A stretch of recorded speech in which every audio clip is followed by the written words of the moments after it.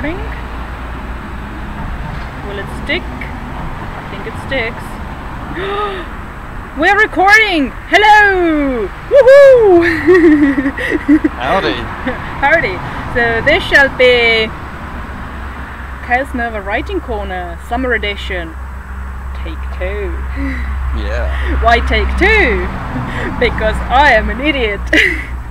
so we uh, recorded a glorious session, a very natural, impromptu, very, you know, it was glorious. And uh, and naturally, as you, uh, when I started to organize the files and uh, get the upload going, I decided to delete the test footage bit bits as you do and uh, Mistakes were made. and then because in Linux uh, when you have something in your trash bin then the file system shows it in a sort of like bloated thingy. And I think my brain just went like oh it's it's a bloaty must empty. So I emptied it as you do. And then then when I uploaded the video I was like wait wait. Why is it uploading so fast? Fuck and then I realized uh, I had uh, I, uh, only then did I figure out what had happened. You see, when we were recording, when we were testing, I was fiddling with the settings, so I changed the output fo- folder. So the the video was not where I thought it would be. And then I got some uh, digital necromancy going, uh, some file restore things flowing, and let's not stop with the fuck ups there. Uh, as I was as I was setting up the recovery, I was I was kind of uh, well. Let's say it, it's summer. It's hot. My head was like oh. So when I was picking the settings, I thought that I was picking the folder it should look into, but actually I was setting the folder it should write into. So basically, the first recovery dump went straight into the not only to the same disk but also to the same location where the uh, resurrection files would have been. So I'm I'm thinking that I probably did all the damage during that first wipe. So after that, I kept running a few more recover rounds, and I I found a good deal of old video files uh, that I'm guessing is part of my brother's work uh, because it's uh, it's my brother's old laptop and he wiped it all clean before he handed it over to me and now I resurrected all that. so it has been bizarre. anyway, now we now we're back here. Now that I have uh, spent all this time uh, waffling on about uh, the digital necromancy. Uh, so, what what was the stuff that we were actually talking about? I can't remember anymore. So basically, oh, I remember. So this is the first writing corner chat in a while. I think it's the first since April, and there there have been reasons. So what are your reasons? I've been travelling around Europe in the super bus with a good friend of mine from Sardinia, Claire. Massive shout outs to Claire, the legend. Shoutouts. Uh, Thank you for putting up for me, uh, putting up with me for six, seven weeks, I think it was. So you really are a champion. Nice work. Um, uh, yeah, we went, we went all across. Uh, well, we went mostly across Europe. We went uh, from the Netherlands to Germany to the Czech Republic to Vie- to Vienna, Mhm. Austria, Austria. Austria, yes. Vienna is in Austria. And then, as we were on our way to Switzerland, the superbus decided to just break down. Uh, No! just glorious betrayal. Um, uh, unfortunately, it was a ruptured fuel line, and every garage we took it to in Austria was just like, no, we're not doing it. Not, not something we do. No. Um, so, yeah, in the end, we had to spend a night.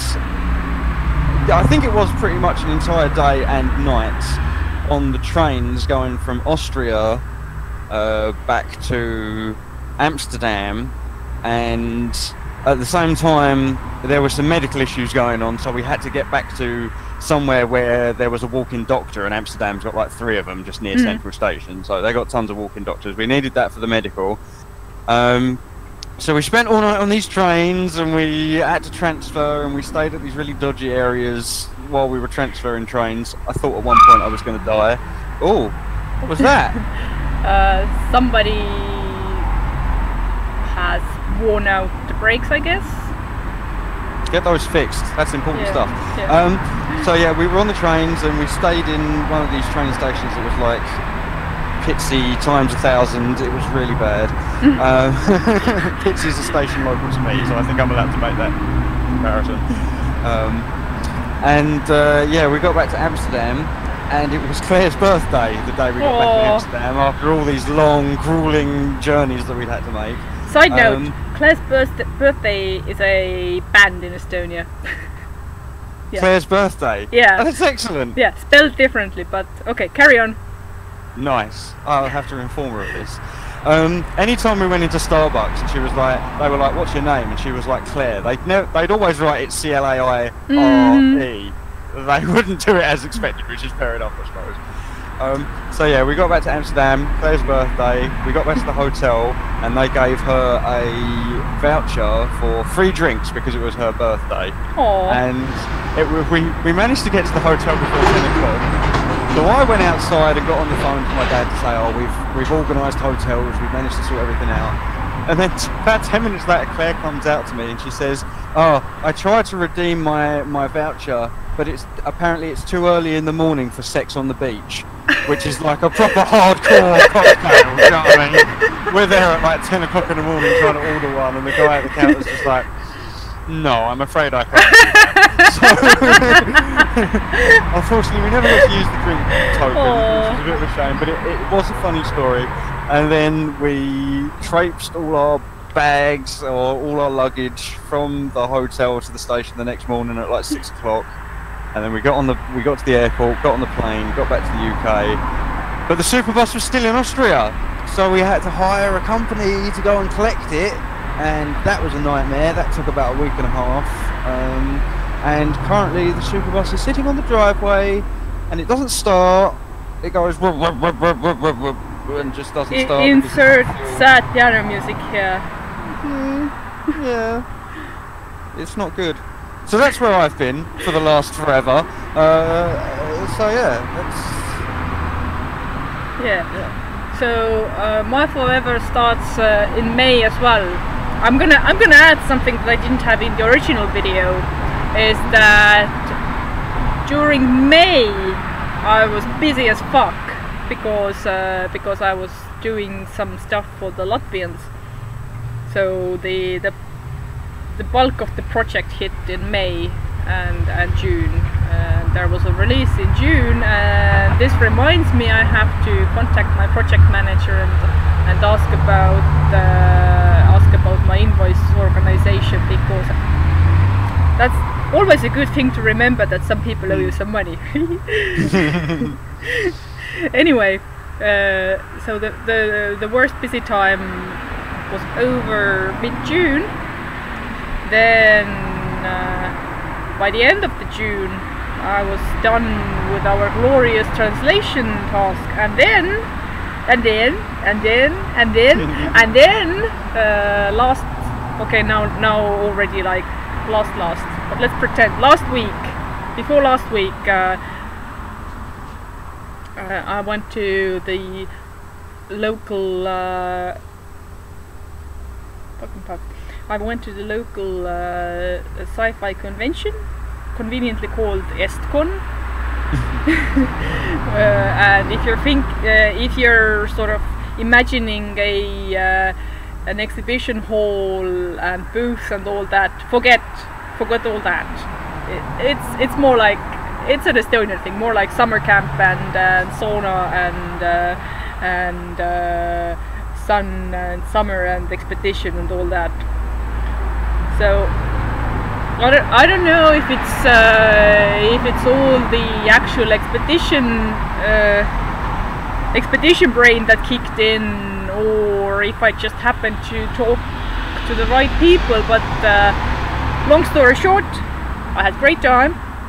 Uh, it was interesting. I I think I don't think I, I had one boring conversation during the whole weekend.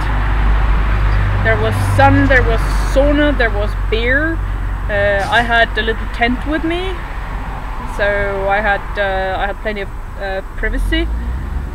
Uh, it was really warm. Thing is, uh, Estonian summer is an unpredictable beast. So during this time of the year, we have had a lot of sun exposure. We're like, you know, we're we're tilted to, tilted towards the sun, so we we do get the uh, heat feedback. But at the same time, the heat feedback also heats up the Arctic Ocean, which gets all the water in the air. So you can you can never know for sure if you if you get a heat wave or if you get like proper rain wave. And uh, as I understand, every year before this one, uh, Estcon has had some cold and rain and all that. And naturally, since the weather is unpredictable, you have to be ready for whatever. So uh, you have to pack your you have to pack your scuba gear and your rain gear and your snow gear because if you're gonna be away from home for three days, you have to be ready for whatever. So I actually got a new uh, new rucksack uh, uh, for the for the occasion, which was nice. but the rucksack was bigger than uh, than I had uh, planned. So the one that I actually wanted uh, ran out, so I got a bigger one, which means bigger rucksack, more shit. so I had to be very careful not to not to pack too much. But luckily in the end it turned out that uh, I was able to find somebody who was driving there from Tartu. So I, did, I didn't have to do any train adventures. And uh, and I, I also got back from there uh, with one of the organizers' cars. So it was very I, I got really lucky with the transport. Oh, oh nice. and and uh, while there uh, they had held a little uh, word contest for film genres, and uh, and I was among the runner-ups. So two of my two of my uh, my suggestions were in the runner-up circle, which means I got a, a nice certificate uh, for for the efforts and also books. So just like in the original video, I did not bring any of the loot uh, down here. Everything is up in my room, but basically, uh, I got a big reference book uh, with Estonian etymology, which is like right up my alley. and also, it's very, very uh, sort of uh, very in tune with the whole word invention contest. Uh, then for the other word, I uh, I got to pick between different books, so I, I picked one of uh, more recent Estonian sci-fi books, which I have already read, uh, and also uh, also there was a quiz, a trivia quiz on site, which I also attended, for which I also grabbed a book. And then I also bought one book. So basically, I, I came back with a with a load of books. the whole, mate. Yes. You got all the loot. Yeah. I will. I will show them. Show them uh, another time when we're recording indoors. I'm looking forward to that. It's gonna be cool. Yeah. You did it. Did it. Oh uh, yeah, and uh, and as a result of the of the convention, well, when you're on a convention, you talk to people, you establish contacts. So uh, after that, I have actually been to one of the uh, writing sci-fi writing workshops uh, right here in my hometown. So that that was a win, and there will be another one this week. So not tomorrow, but the day after tomorrow, uh, I'm gonna carry on with my story. So that's cool. that that's that was a very uh, very nice development.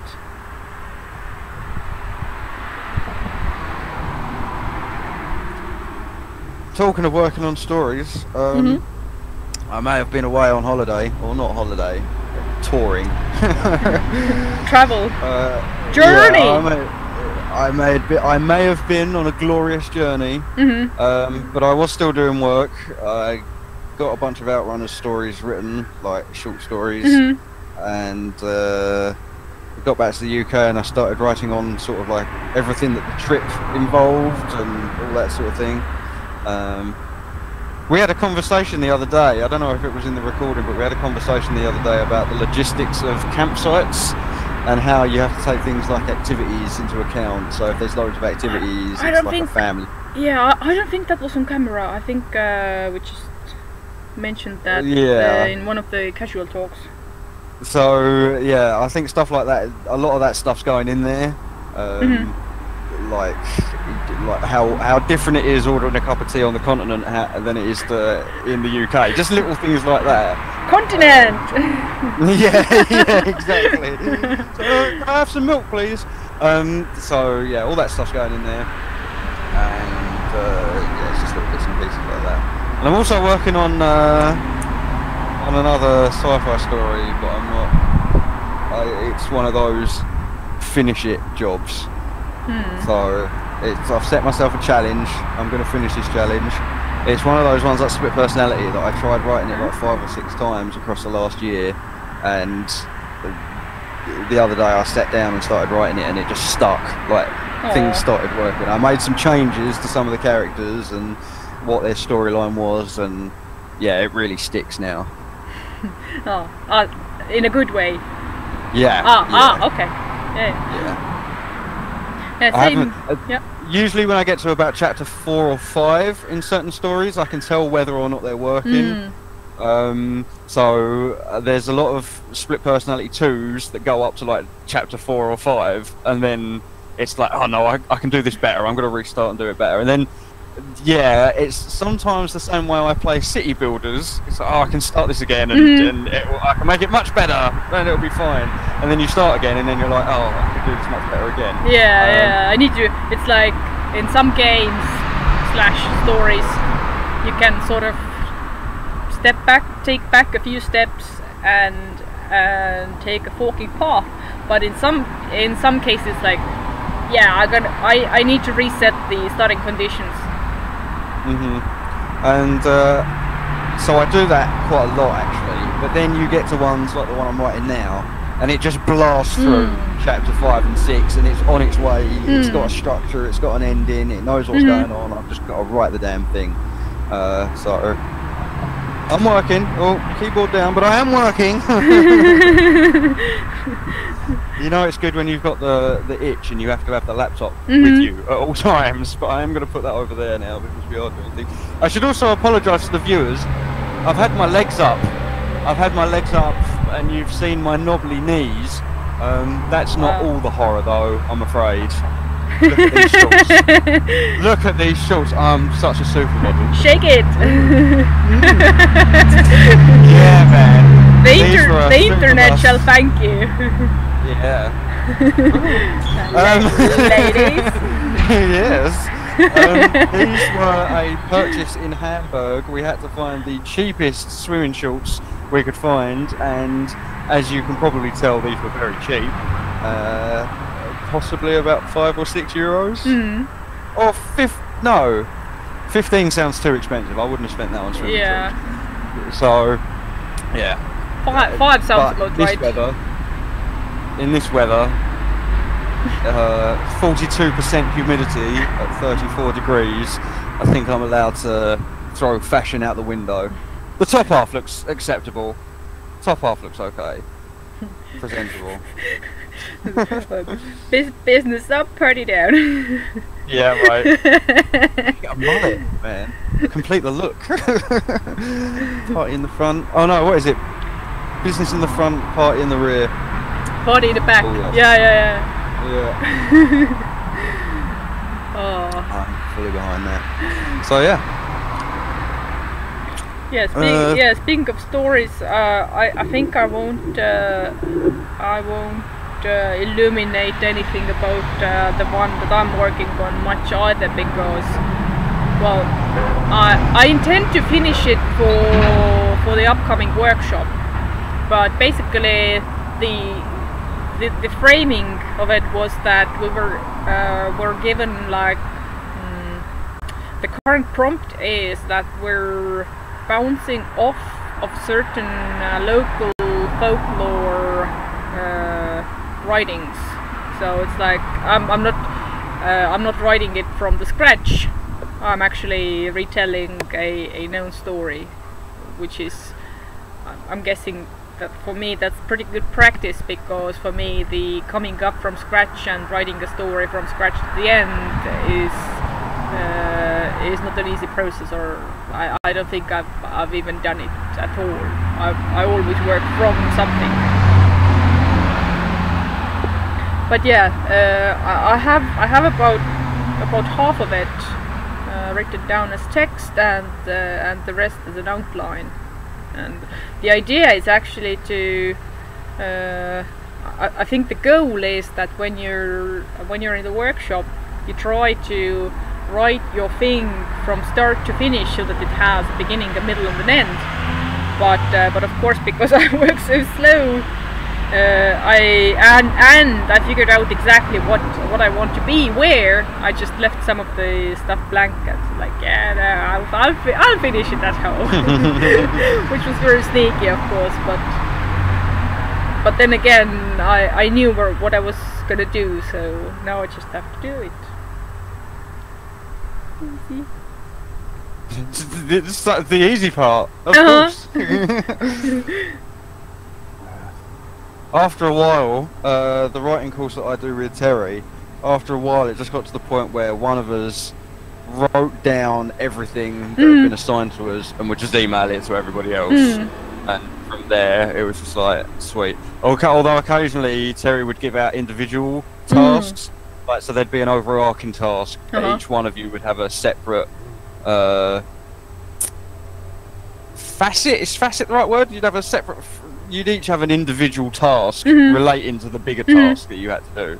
So in your case, uh, or similar to your case, we'd get homework on like nursery rhymes and old Mhm, tales like that. mhm. And so one of us would get like Red Riding Hood, another one would get like uh, Humpty Dumpty, and another one Jack and Jill. You know that yeah, sort of yeah, thing. yeah, yeah, yeah. So Yeah, that's the a- best way we figured out. yeah, so it's a it's a very similar case, except in uh, in our case, it's not the uh, like it's it's not a learning environment so much as it is practice environment, Mm. and That's uh, really cool. and in the end, the the stories that do uh, swim uh, will end up in the uh, in the web magazine.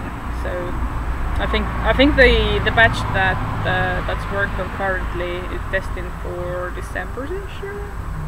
But, Oh, nice. but, but that's that's like hearsay. That's uh, I'm just repeating. I'm just repeating back what I heard. Mm. Right.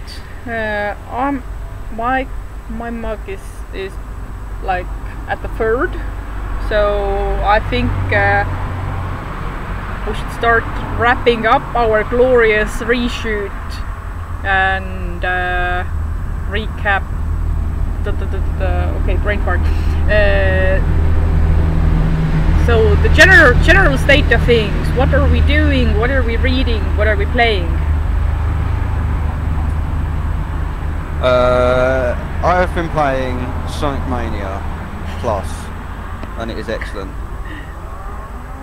I know the name of the squirrel now. Ray. The squirrel's name is Ray.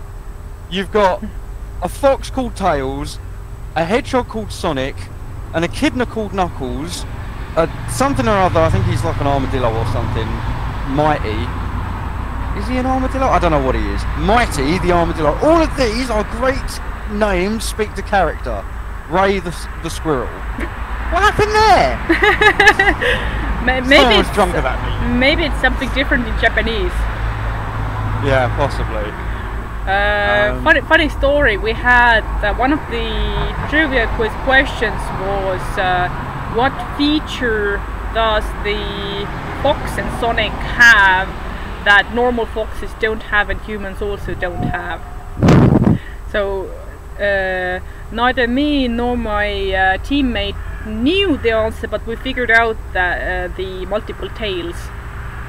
I hope we did get the point for this because the correct answer is two tails, but uh, uh, I started writing double tails, but then I figured uh, I could be more vague and wrote multiple tails. but Fair uh, enough. yeah, but I, I, I think I think we did get some points for that. Nice.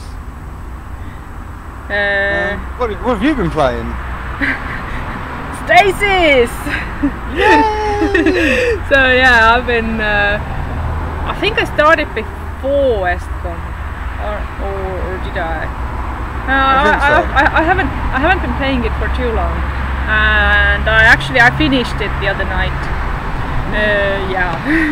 so some of some of my predictions. So basically, Stasis. It is very gory, very spla- splishy, splishy, splashy. Uh, all sorts of uh, bodily horrors thrown at you, isometric Gloriously point, point so. and click. Yeah, and uh, and uh, there was a bit of a let's say my my playthrough is quite dissonant from the tone that I think the game is aiming at. like they they are aiming at this sort of serious horror and tragedy, and I'm like.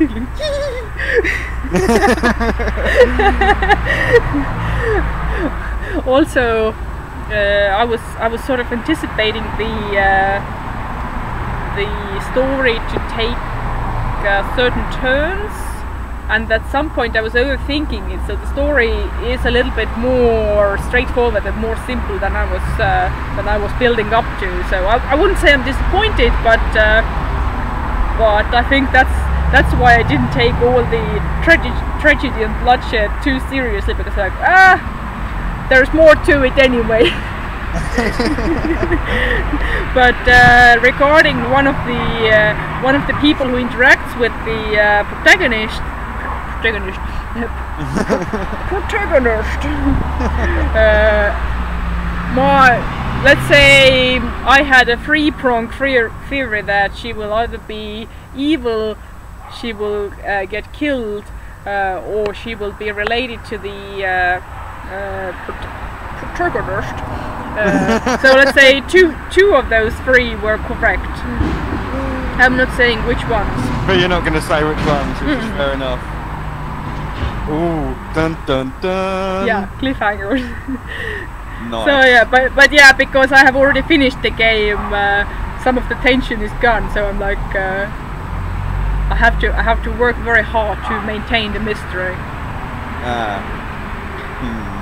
And also I have been playing, of course, uh, uh, Stalker Lost Alpha Developers Cut test versions, and uh, the the build that is currently in the works uh, is 1.4 4000007. I never know how many O's there are. that's that's the running gag. Uh, and uh, and uh, as as we speak, the next uh, test build is uh, is being uploaded. So I will I will probably have to start the new game tonight or or, or something like that.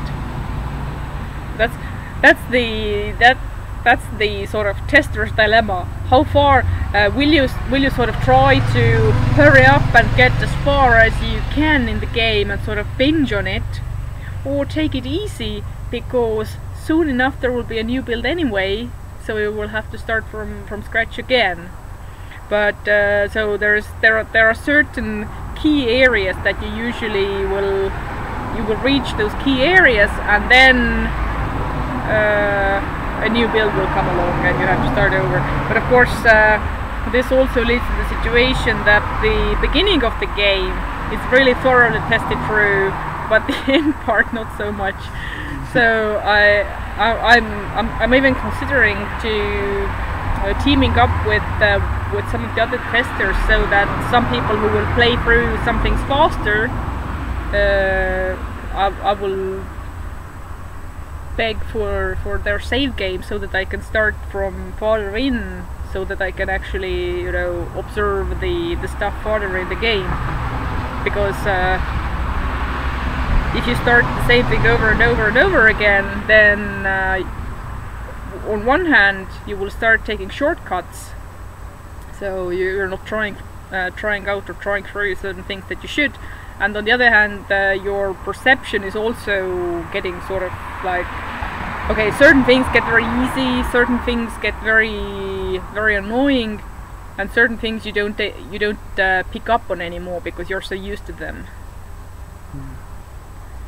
Uh, oh, uh, we spoke about games. What are, what are you reading? Uh, while I was away on holiday, uh, I was reading Surviving the Evacuation by Frank Tayell. And I've said that so many times now, I'm actually remembering it. Aha! Uh, so uh, I read the first three books of his series, they're great. It's a zombie survival story, and I don't usually go in for zombie survival stories, but these ones are great. It's about uh, a survivor who was left, he, he broke his leg, or his leg got broken, and he was forced to remain in London while everybody else around him was evacuating. and by the time he was able to move again, uh, the world was not what it was before, let's say. Dun dun dun. So, yeah, that was a really interesting book. And it's written from the perspective of like he writes a diary. Mhm. And, uh, yeah, it's really good. And I like how uh, other characters in the story sometimes read his diary and sort of question him about it. It's a Hmm. nice, it's like a nice double layer going on there. It's really cool. Um, so that was interesting. And I'm sure I was reading something else as well. Uh, yeah, there, there, there was something. You said it, but I don't remember. Let me have a look. Uh, Kindle books. I read The Fall, uh, but I think you'd be a better uh, speaker of, that than I Ah, would. ah, yeah, the past the Jackson virus, yeah. the Australian uh, Australian zombie plague. I, I did while we were in Amsterdam. I uh, or while we were in, I think it was Groningen actually. We went into a charity shop. Oh no! Okay, so the first store we went into was an antique bookshop, and I picked up a copy of A Bridge Too Far, which is a German, uh, it's a English World War II story about uh, getting to, I think it was the bridge in Arnhem, and how it was just too, it was too much. They took Hmm. as many bridges as they could, and then they got to this one bridge, and it was just impossible for them to take. It was a real struggle. So I got that. I haven't finished reading it yet. Thus my um, inability to properly properly give a description of it.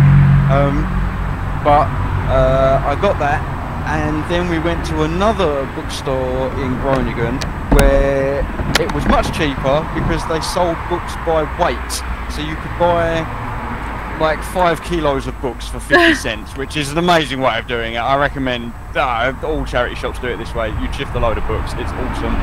Um, so yeah, I picked that up in there. So yeah, I've just been reading bits and pieces here, and I picked up. I have intentions of learning the glorious Czech language. Uh, Glorious. Which I is very glorious. It's uh, a pleasure to listen to. Um, I bought a copy of The Colour of Magic by Terry Pratchett. I bought it in the Czech version because I've got the English version and I tried getting it but that didn't work. Um, so I'm familiar with the source material and I'm Mhm. gonna read uh, Czech Colour of Magic, which I think will be quite interesting. There you go. so, uh, in the meantime, I maneuvered away from the sun. Yeah, I could see you had your hands up at certain points. Uh, I didn't think that through. The uh, while while we were speaking, the sun sort of came out from behind the spruce. what have you been reading? Oh, shit ton of things, actually. So, first off, uh, straight out of Estcon, I read one uh, uh, zombie novella uh, by a person I know, and uh, and she write and the uh, all the adventures take take place in locations I know. So that was a sort of very very personal sort of thing, and uh, and also the one of the one of the award books, uh, which is kind of a I think it's a little bit cyberpunk, a little bit alternate history, uh, a little bit uh, techno thriller. So uh, in the meantime, uh, when we when we recorded our first take, I I think I hadn't even started it, and now I've read it. and uh, and then I still uh, I still have a shit ton of stuff that I'm in the middle of. So one is another Estonian book, and a side note is that I've been consciously trying to read uh, more Estonian again and sort of like read consciously and, and read different sources because when I started uh, translating Seeker, I felt like my sort of written language depository was a bit thin. So I immediately scrambled to watch more uh, TV shows and, and read more more books and so on. So I've been reading. Uh, I've been reading this uh, diary from uh, from before uh, from between two world wars that also takes place uh, in my hometown, and uh, the lady writing the diary.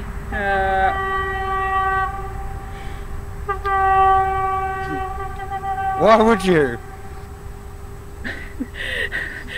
I, I can't even tell if it was a train or, or a or a truck. It was pretty far away though. So uh, the diary, uh, the diary writer uh, is the wife of one of Estonian well-known writers, and uh, as I understand from the diary, she wasn't a writer herself, but she was doing some editing and uh, you know all the write, writer adjacent uh, stuff and uh, there's a ton of you know wh- when you when you move around in the in the circles of creative people all, all the gossip and all the sort of everyday stuff and it's it's it's fascinating reading. And uh, and then I'm still in the middle of uh, Ian McDonald's uh, the New Moon and I think I've, I've said it somewhere before that uh, I really I really like it, but because it is uh, it is so rich and so layered, uh, I, I want to read it in uh, short bursts so that I don't. Uh, uh, so, so that I, I, I have time to let the material sink in and you know to process it properly. So I, I don't want to I don't want to rush through it. So that's why it's taking uh, more time than some uh, more lightweight book might take. So there. Oh, Nice. oh, oh, oh, and also uh, recently uh, I reread uh, our friend Karl's uh, Stalker fanfic, uh, which is now available on his website. Link shall be below, or else. so now I remember this. This is this is where we ended uh, the original uh, recording. Is that we have to start putting all the all the links and doodads in the description.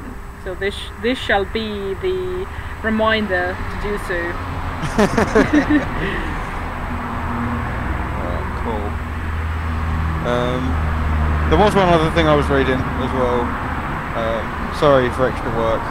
um, but um, oh, what's his name? Hang on, Jack Campbell.